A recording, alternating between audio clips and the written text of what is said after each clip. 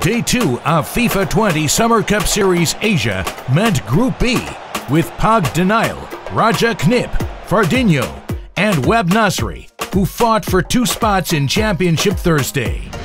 Pog Denial met Raja Knip in the first series of the day, and we had some amazing plays. For Knip, and he scored very early on. That is a great finish and a great bit of build-up.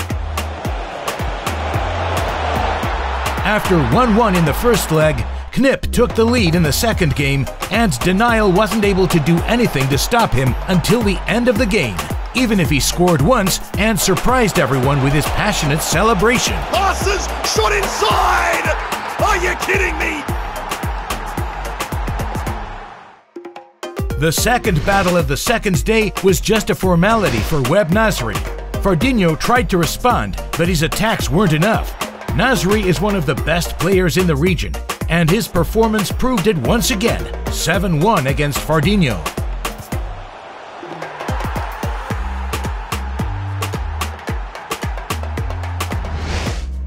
Web Nasri had another good game in the next series against Raja Knip. Happy to use his fullbacks in the attacking play, and it's the extra man that creates the extra space. The overall score was 2 1 at the end of the series, and the Japanese player did everything to maintain his advantage, and it worked.